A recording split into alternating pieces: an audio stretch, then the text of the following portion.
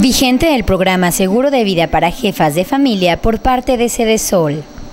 Y nos están pidiendo el apoyo, eh, como en muchos programas sociales como Oportunidades y 65 y más, en la difusión y en que nosotros nos encarguemos de bajar la información y registrar a las personas que van a entrar al programa. El objetivo es apoyar a las mujeres encargadas del hogar a que sus hijos continúen sus estudios en caso de que ellas llegasen a fallecer.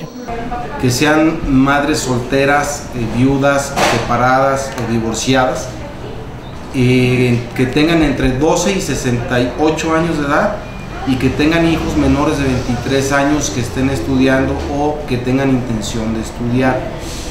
Eh, apoyar a que cuando la madre falte, que sus hijos por lo menos eh, continúen con sus estudios. Son apoyos que van desde los 350 pesos a los 1800 pesos. Eso es como, es un seguro de vida, como lo dice el nombre del programa.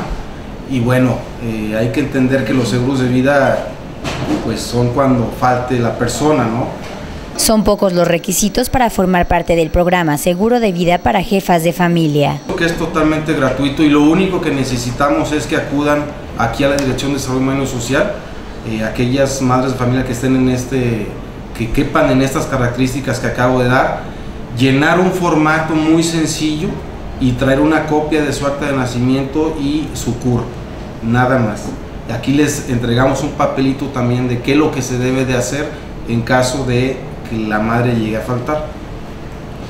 Agradecerte, Chacho, Estoy a sus órdenes, muchas gracias. Documentos que deberá presentar en la Dependencia de Desarrollo Humano y Social, ubicada por la calle Matamoros, a espaldas de la Central Camionera, de lunes a viernes.